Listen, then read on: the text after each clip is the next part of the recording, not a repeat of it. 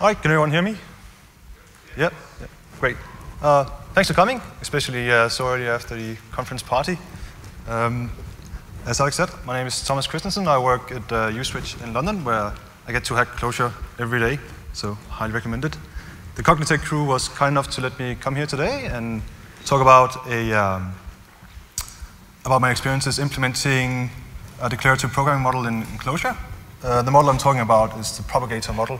It's been handed down to us from the slightly more academic part of the Lisp community, where we're probably a bit more applied here. Um, before we get going, let's try and remind ourselves what declarative programming is actually all about. So one of the articles that this work is based on uh, defines a declarative language as something that requires only the statement of relevant relationships and the computational organization is specified separately or performed more or less automatically. That sounds a bit abstract, but it sort of boils down to uh, you know, old saying, the uh, what, not the how. So we want to specify what we want to know, and we don't want you really care about how it's calculated. So we've all touched SQL. It's a brilliant example of uh, doing something declaratively. Um, in the Clojure community, there's a, uh, there's a pretty well-known declarative uh, library out there, mainly uh, CoreLogic, right? We've all played around with it. Uh, it's built, on Kanren, which is described in this, uh, this book, The Reasoned Schemer. And we've already seen some CoreLogic at this conference. Um, I've had a lot of fun playing around with CoreLogic. Sort of takes the, uh, the, slightly hard problem of solving a logic puzzle, logic puzzle it makes it much more difficult in that now you have to write a logic program to solve a logic puzzle. It's, uh, it's quite entertaining. You should definitely give it a go if you haven't already touched CoreLogic. Uh, when you work with CoreLogic, you sort of it's sort of strange. You sort of start thinking, oh, it's very difficult to figure out what's going on. There's this magic box that you pour in your constraints into, and you sort of have to define your constraints using this slightly different notation, and it sort of seems like magic and, and stuff comes out. It's not a very transparent model as such. So put, put stuff into a magic box, and you pull stuff out of your magic box. Um, I always felt like there should be some easier ways to define this stuff, and just sort of modeled on my mind, and then I saw um, Sussman's talk, We Really Don't Know How to Compute. It's a Strange Loop last year, year before, maybe. You can find it online at InfoQ. It's, it's, great stuff. And in that, he, um, he describes a, uh, a, model, the propagator model, for doing um, declarative programming. Um, but my sort of main takeaway from this thing is it's, it's very important to be very explicit about um, the expressibility of, of, of, what we're actually trying to, to describe. We're not only trying to instruct a computer to do something, we're also trying to describe something to future programmers looking at our code. When we're doing Clojure programming, we are, very focused on everything being very transparent. We want, we want uh, immutable data structures so we know what's going on. We shouldn't, we shouldn't throw away that transparency when doing declarative programming. It seems a bit of a waste. Uh, we should be able to reason about this sort of stuff. So um, I dug down into um, what this stuff was. And actually, you can trace it back to this article from uh, 1981. It's called Constraints, so it's a system, a language for expressing almost hierarchical descriptions. Um, and in this, uh, Sussman and Steele described this, this tool for modeling different relationships. And the main, the main application in that paper seems to be on modeling electrical circuits and sort of figuring out what is the current different places in the, in the circuit, how does it act and to use that system as a, a teaching tool. Um, and it's also the, the main subject in Steele's uh, PhD thesis. I'm just going to read the title real quick, hopefully, which is called A Dissertation on Research Concerning the Definition and Implementation of a Computer Programming Language Intended as a Platform on which to create systems for computer-aided design of engineered objects based on constraints, a model for computation combining a simple declarative semantics with a vivid intuitive visualization as a network of simultaneous active physical devices, computing in parallel without prior prejudice as to the direction of flow of data, using the technique of local propagation and augment by dependency-directed backtracking for detecting and resolving global inconsistencies. But, it's, a good, it's a good title. It's very descriptive. It's, it tells exactly what it is. And uh, some of the things we sort of should, should pick up this one is, is like it's, uh, it's intuitive, right? It's visualization. It's stuff you have to, this thing promises you that you can see what's going on, right? You should be able to inspect your system, figure out how come these values are what they are, and how come the current here is, is what it is. Uh, this this uh, thesis and the, and the work was from a long forgotten time when people sat down and spent hours and hours carefully handcrafting uh, drawings to model stuff and explain what's going on. Uh, this is the internals of a clock. You see there's different hierarchies where the components work together. And sometimes there's actually stuff that uh, goes across these hierarchical components. Uh, it's very, very fascinating stuff. Uh, again, if you're, if you're modeling um, like physical systems, it's, it's very interesting. Um, so after this work came out, uh, sort of the, the, winter of AI happened, and didn't really hear a lot about constraints. Um, but then in 2008, the the Propagator came out. It's uh, Radul and Sussman's uh, paper describing um, an extension or a new take on the constraints propagation model that was described 30 years prior. Um,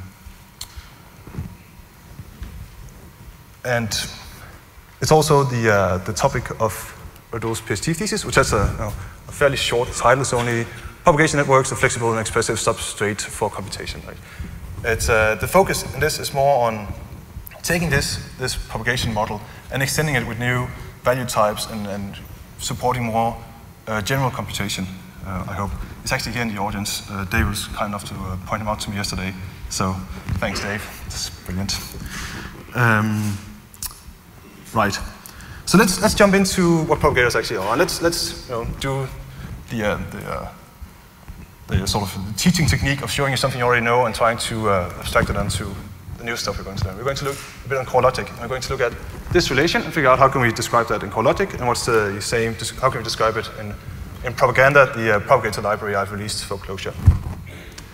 Um, so in core logic, we can use finite domains and state that a new logical variable p should be the product of a and b. Uh, the sum of p and c should be d, and then we can sort of start filling in uh, numbers here. And when there's sufficient information, if we read out D, we'll see that D becomes 10. And actually, if we want to model the same thing as with propagators, you know, the semantics are almost the same. We're stating that the product of A and B should be P, the sum of PCs should be D, and then we add values to these placeholders. Uh, and as these are declarative languages, it doesn't matter which way you shuffle these expressions around. You're just setting up constraints in your system, it's not until you try to pull out information about your system that it actually, actually matters, which already did it. So it looks the same. The, the main difference is sort of under, under the hood. Right, it's, uh, it's, it's how this, this thing works. So let's take a look at how propagators work. We're not going to explain how core logic works because that's, that's a two-hour talk. Let's, uh, let's, let's do propagators instead, it's a bit quicker. So in propagators, the main computation unit is cells. So a cell either holds on to a value or it uh, holds on to no value. So the gray one doesn't hold on to anything, and the green one holds on to something. And the, um, the important thing is, as soon as a cell takes on a value, that's, uh, that's, the, that's the value it's going to have. Once the thing is green, it can become anything else than green. Right? Once a cell has a value, it's immutable from there on. Um, the way we put values into cells is either by just setting it, as you saw before, or using propagators. So a propagator is a a diamond here that listens to one or more cells, and whenever uh, a value of a cell is updated, the propagator is uh, informed, and it can then perform some sort of uh, computation, and it can, in turn, set the value of other cells, uh, which might trigger another propagator, and so on and so forth. So it's, it's an extremely simple model. Uh, of course, there's some you know, tricks to it, but this is pretty much all you need to, uh, to understand. So pretty, pretty simple stuff. If we um, look at this thing again, actually propagators don't have products uh, and uh, some rules in there the same way as core logic does. You have to put them in yourself actually, but luckily that's actually quite simple. You can use a function for lifting a normal Clojure function into a propagator. So here we define a new function plus, which is uh, defined using the, the, the, normal plus operator. Um, this thing, the plus thing, will return a function that when invoked on uh, three cells, say, observes the two first cells, and always ensures that the, product, the, sum sorry, is in the, uh, in the last one. Right? So this thing will create uh, a relation, this propagator, between these three cells. Simple stuff. Minus works the same way.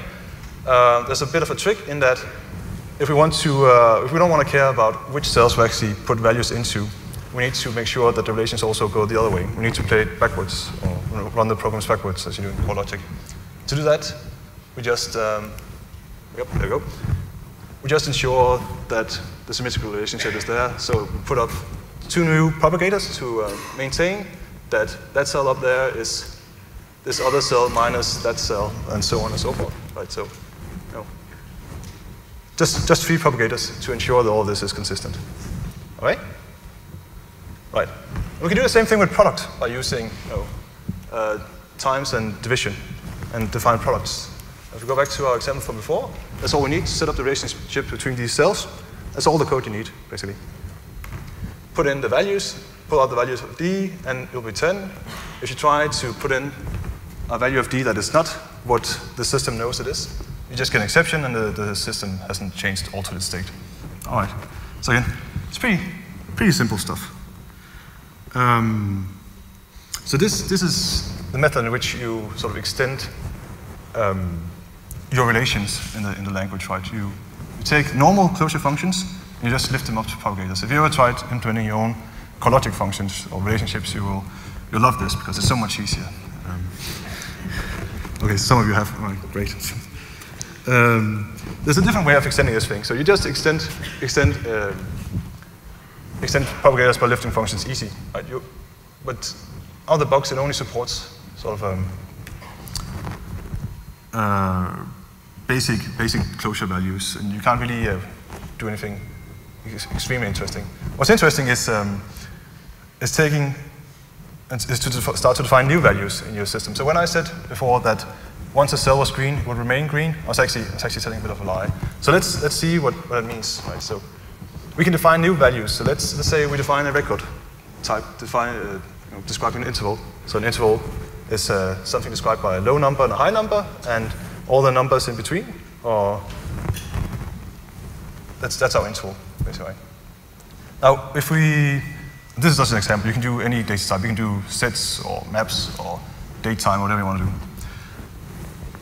If you have an interval in a cell and we, we uh, come along with a new interval and try to put that into the cell, we are going to succeed if and only if the intersection of the two intervals is non-empty. And if it's non-empty, the new value of the cell is going to be that intersection. Right? So here's three inter intervals. You see the intersection is the, is the bottom one here. And that will successfully get into our cell. If we have two intervals with the empty intersection, we're not going to write into a cell.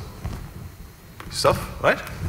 And we can define uh, normal arithmetic operations of this stuff. Let's say the uh, product of two intervals uh, is the product of the lower limit and higher limit. So every, if you take any number from the first interval and multiply it with any number from the second interval, you'll get a number in this interval. Right, pretty, pretty easy stuff. So now we define a new operator. We can lift it into a propagator, and we can start making some, some interesting, interesting stuff. So there's one good example from the other propagator I really like, which is about measuring building heights. So we're going to go through that real quick, and uh, hopefully that will give you an intuition of how, how easy it is to set this stuff up. So in the barometer puzzle, you're giving a barometer. So everyone know what a barometer is? It's for measuring atmospheric pressure. Uh, we're given one of those, and we're given a building, and we're asked to measure the height of the building. All right? So do you have any idea how to, to do that? Any suggestions? Yeah?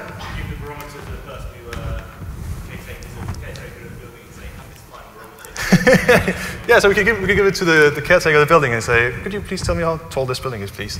That's one way. That's not the way we're going to do it here. Unfortunately. So bribery is out of the, out of the uh, question. Uh, there's another interesting way of doing it. We can, uh, we can take a barometer. We can take the elevator to the top of the building. We can hold the barometer over the edge of the building, let go, and it will plummet uh, down to earth and hit it with a satisfying sound. So if we, if we do that, and we measure the time from letting go to it hitting the ground. We use that time uh, to measure the height, right? It's just a, the amount of uh, space it's traversed in that, in that time period. We saw the same, saw the same equation yesterday in the vehicle uh, example. Right, it's just half uh, the uh, acceleration due to gravity times time squared. Right? Easy, easy stuff. Um, we can, we can quickly set this up using our function from before, product, and quadratic is just product on product. Um, so the full duration relation states that the relationship between the time and the height of the building is basically what we have up here, like it's g times 1 half times t squared. Uh, this is a helper cell for holding that product to the right. We just set up all these things. when it comes to putting in the uh, gravitational force acceleration here, we, uh, we put in an interval instead because we don't know what it will be wherever we are, right? Because this isn't a constant across the Earth, right? Again, we saw that yesterday in uh, the other talk. It's brilliant. It's just like a perfect layout for this one. We don't know what it is, so we're going to model this uncertainty and say, we know that it's somewhere between 9.789 and 9.832. We don't know what it is. So we put in intervals to model our uncertainty from our, from our world, and when we actually use it, we're going to do the same thing again. We make some cells for holding our building height and our fall time. We set up the relationship just by calling our function. It's just functions, nothing, nothing special. Um, we uh, measured the fall time to be somewhere between 2.9 seconds and 3.1 seconds because you know, we're not that accurate. We just have a stopwatch. You know, we're only human. If we do that, we put intervals into our thing, we get intervals out, right? We know that the, we get the answer that the uh, building is somewhere between 41 and 47 meters tall, right? It's pretty, it's pretty cool. The interesting stuff is uh, when we start doing like other ways of measuring the building height using barometer. So we could bribe, we're not going to bribe. We could, we could stand the barometer upright, it's a small thing down here, and look at its shadow. So the relationship between the, uh, the shadow of the barometer and the height of the barometer, that ratio is the same as the ratio between the building and the building's shadow. Right? It's just a model of a building and its shadow. That's basically stating that like h prime, the height of the barometer, is uh, s prime, the shadow of the barometer, times some ratio, some unknown ratio we don't know. Depends on the time of day, right, where the sun is if it's, if it's still light out.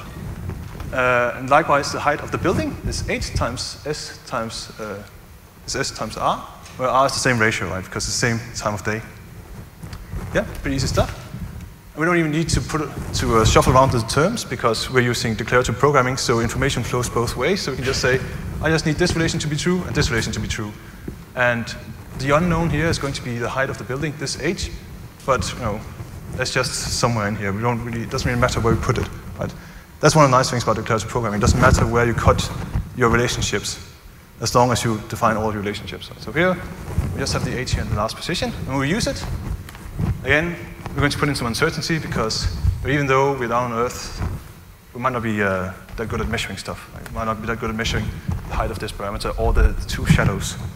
So we're going to say that the building shadow is uh, around 55 meters using SI units again.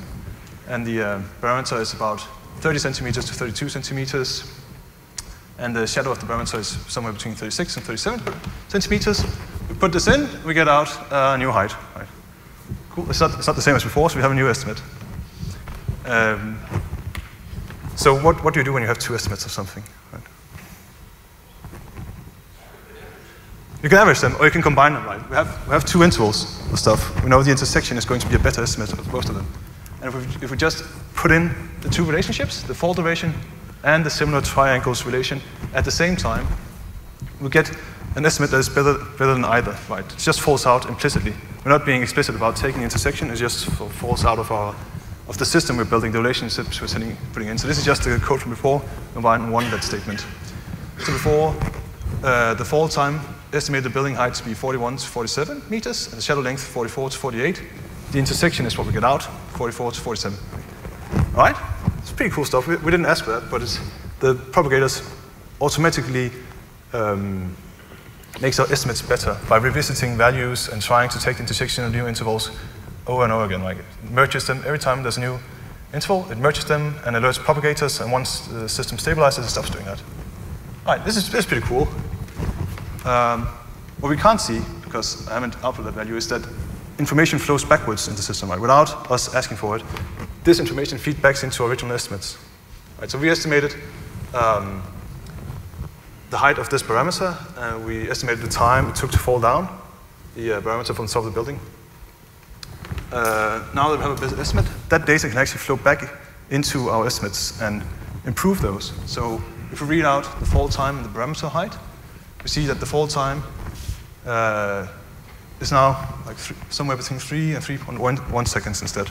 Right? We've, we've halved our, our uncertainty. Right? All of a sudden, without asking for it, we get a better, estimate from what we actually put into the system. That's pretty, that's pretty cool, just by adding uh, known information um, without, without doing anything. Does it, does it make sense? Yeah, yeah, it's, it's pretty cool stuff. you, should be, you should be excited.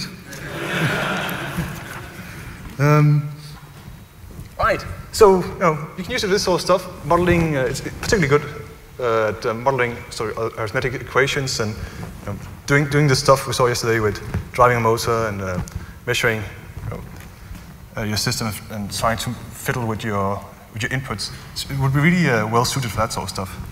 Um, so let's, let's take a quick look at how it's actually implemented. So in, in the original article, the Yarled propagator from 09, there is a uh, scheme implementation scattered around the, uh, the article. It's, it's, great read, right? And the scheme implementation sort of has these mutable values all over the place. Has cells, it goes and writes to these cells. Um, if you want to do something like that in Clojure, you're going to uh, resort to something that is, safe. So my first implementation of propaganda, um, I used references, right? So you have references for each cell. Each cell holds onto a reference, and whenever you put stuff in there, you do it in a dosync. Uh, and whenever the propagators sort of mess around with the system, it all happens in the, uh, in the STM. Uh, whenever it tries to merge values, that's what merge up here is, it needs to have access to some function to do so. So you need to do a global binding whenever you start doing all this stuff. And it's, uh, you know, it's not extremely nice, to, to be honest. There's a lot of downsides to this. You have globally bound functions. That's not nice. You need to do stuff in a dosync, but there's no, there's no um, inherent thing in this solution that states that it should be, uh, in this technique that it has anything to do with, with software transactional memory at all. Um, these cells are mutable. Like if you read them at some point, and you read them again one second later, you have no idea if, if it's in a stable state. You have no idea what's actually going on. You can't see the propagators. Like the propagators are hidden somewhere. And once in a while, they're, they're executed in some, some magical cell somewhere. And there's no ClojureScript support, right? Because you're, you're, you're relying on uh, refs.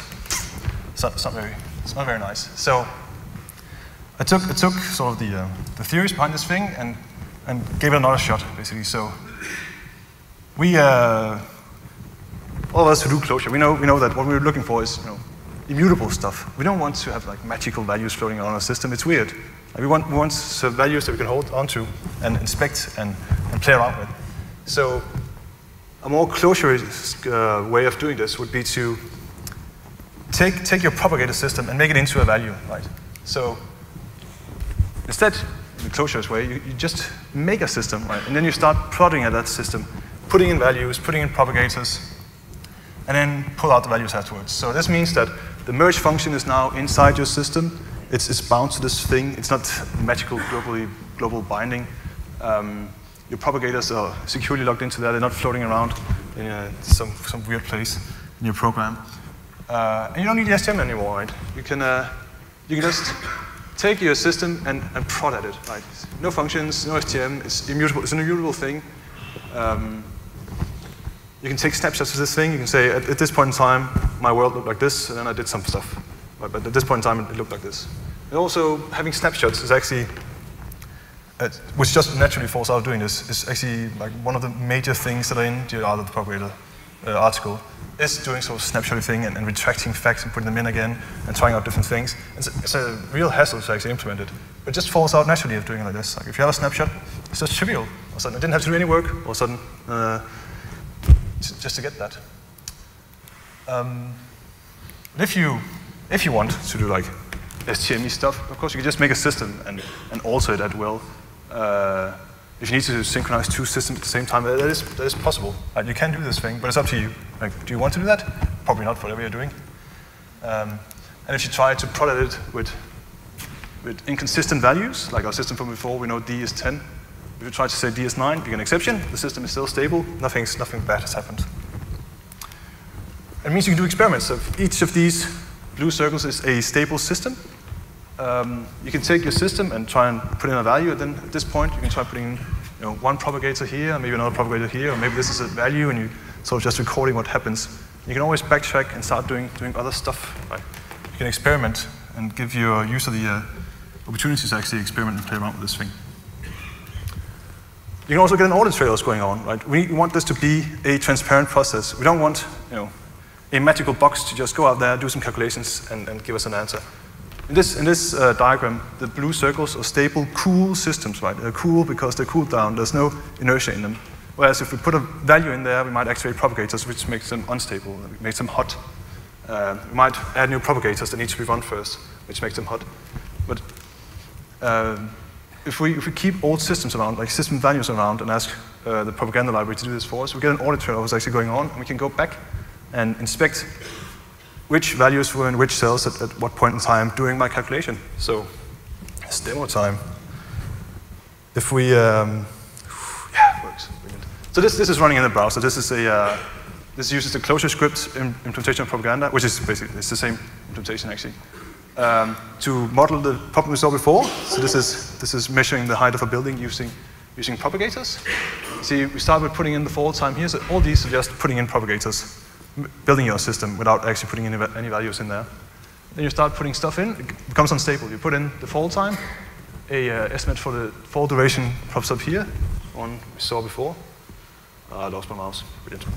Um, and then it cools down, and it's ready for us to put in a building shadow, a barometer height, and then actually, the barometer shadow gets a first estimate. Like, we didn't put in this value up here. Oh, by the way, the span of these is the, is the range of the interval, so it's, it's scaled to uh, how large the interval is. Um, we didn't put in that barometer shadow up there. That just magically appeared, and we had no idea before we actually started looking into the audit trail. Having an audit trail is super awesome. Like, we didn't, we didn't know that we didn't need to put this in. We did. Then we put in a more refined value up here, which in turn gives us a better building height estimate, and then in turn gives us a better estimate for the fall time, right? A, a tighter bound on the fall time up here. Without, without us doing anything, and you know, we can inspect when this happens. And we can you know, branch out from any of these things and try doing other stuff. So, um. So you should be asking yourself now, okay, so I know CoreLogic, and there's, there's this nice, cool thing coming along called propagators. What are the differences, actually? What's the pros and cons of doing these, these things? So I'd say CoreLogic is great at, at modeling discrete stuff. So you're trying to model a logic puzzle or, or, some sort of set of ancestral relationships or an inference system or something like that. It's great at that sort of stuff. Uh, it can be quite painful to do arithmetics in it, I think. Um, and, and uh, most of the stuff I do is, is arithmetic, so I, I, prefer doing it this way. On the other hand, propaganda is really, really bad at doing discrete stuff. It's not, no, it's really, really bad, but it's, it's not nearly as intuitive to model logical puzzles in it. You need to start merging sets, and it becomes quite hairy. Or you can do your own backtracking algorithm, which can be oh, sort of hairy. CoreLogic has this opaque, efficient search algorithms. It's quite good at doing you know, um, breadth first search and giving us a nice results uh, extremely quickly. But you know, if, you, if you're not Byrd or, or Nolen, you have no idea what's actually going on in there. Right? It's, just, it's just this magical box that uh, you put stuff in, hey, magic comes out, and I can run it backwards. Whereas the, the, the propaganda model is, I mean, it's, it's, very intuitive, it's very easy to reason about, and it's very easy to inspect what actually went on uh, at each step in the calculation when values are propagated around from cell to cell to cell.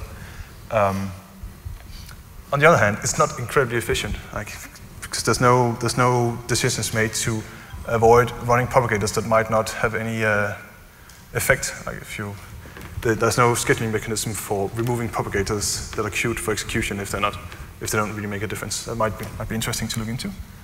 Um, so, I'm not, I didn't come here to, to persuade you all from not doing CoreLogic stuff. Uh, my, my objective was to show you there's, there's other declarative stuff than, than uh, logic programming out there.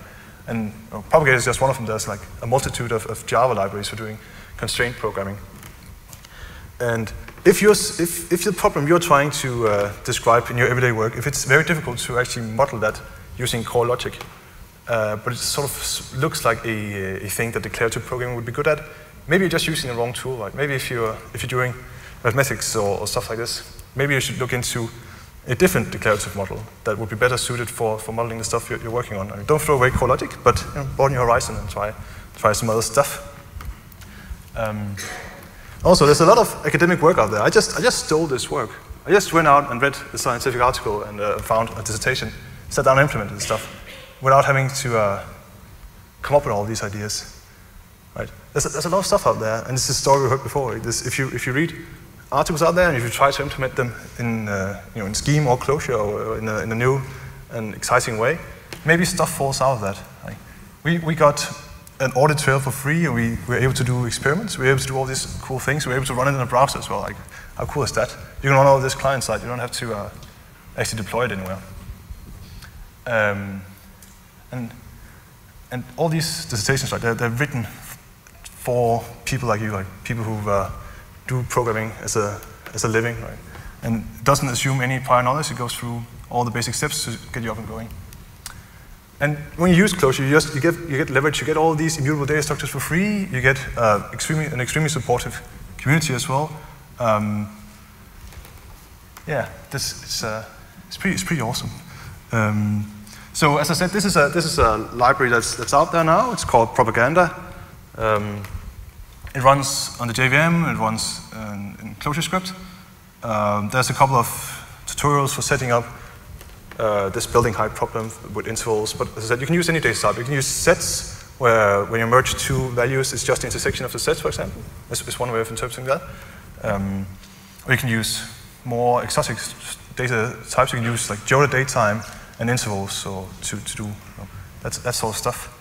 And there's a couple of tutorials for that out there as well. So yeah, go out, have a look. Uh, yeah.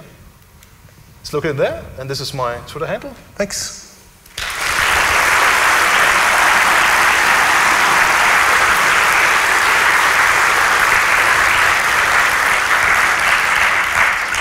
We have plenty of time for questions, so uh, except from you, of course.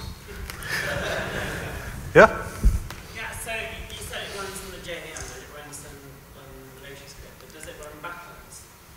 Yes, yes, it runs all the directions you, you, you like. Right? You, uh, in, in, our example, like, if we already knew the building height, if we started out with, with bribing someone using a barometer, and we didn't want to sacrifice our precious, precious barometer by dropping it from up there, but we still wanted to know what the fall time was, you just put in that information and read out the fall time instead. Just don't, don't put values into the stuff you want to know about and see what falls out. Yeah. So,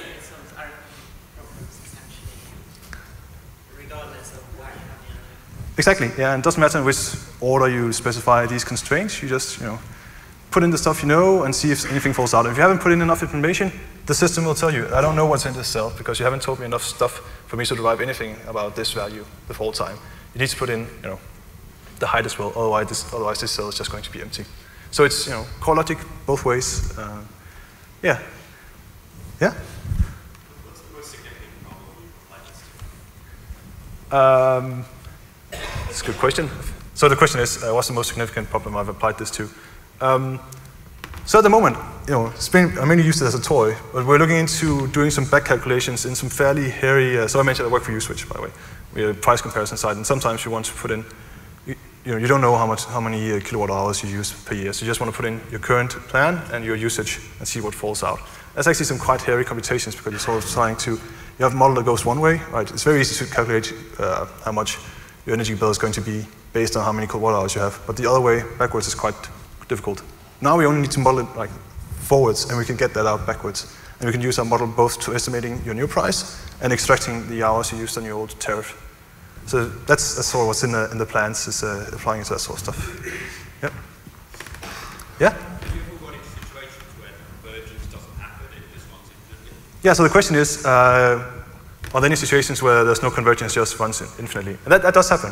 You need, you need to be careful with this sort of stuff. If you're, if you're doing stuff that keeps converging and it just becomes, you know, and uh, you just get rounding errors, that makes it uh, uh, that never converges. That, that can happen. Right? So you need, you need to look in look into intervals to figure out, or if, if you're modeling intervals, look into numbers to figure out, do I need to terminate whenever something is in within a, an epsilon border, of course, right? or something like that. Or you can just use, you know, if you use um, big decimals or uh, fractions, you can, you can get around it using, doing that instead.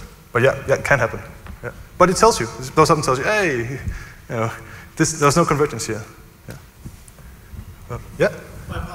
Answer this. I was lost in the uh, thoughts that you were creating in my head. That's good. Is there a way you can turn off that back propagation? I can imagine domains where, because I specifically measure that time fall, I wouldn't want you refining the numbers that I provided. Yeah, so the question is, is, is it possible to not refine the numbers going backwards? So, um, yeah, so, so lock them efficiently. Yeah, if, if so actually you, you would like to be informed that, that you put in information into a system that uh, is in conflict with what's already there, right? You would, you would like to actually get an error there, I would, would have hoped. Uh, because if you put in information that contradicts what's already there, please, please let me know, right? So it's probably not desirable, but you can, you can put in like constant propagators that just always ensure this cell has this value and only this value. This is possible. Or doing you know, custom merge, like you can extend it with this with all your own value types. You could define a value type that is, uh, this value type can never be altered. And whenever you try to merge a new value type with it, it just blows up, right? It, that is, that's quite a useful trick. Yeah. Cool. Good question. What would happen if you had a circular relationship? So what would happen if you have a circular relationship? So these propagators are going to be um, alerted every time something happens, right? Every time a value changes from the existing value to a new value. If the value does not change to a new value, there's no reason to alert any propagators because it can't possibly influence the system in any way. So circular relationships are, are safe, basically, right? If, if, you, if you have a circle and comes back and tries to put the same value into the same cell again, you know, there's no reason to alert any propagators, it's fine. You just, you just stop your, your propagation. So don't worry, it won't blow up. Yeah. Doing that. Yeah. Yeah. Doing that particular thing will not blow it up. Yeah. Cool. Yeah, one last question, maybe?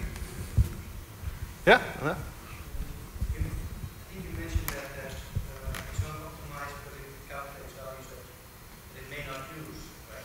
Yeah. Could you make those cells uh, lazy? lazy?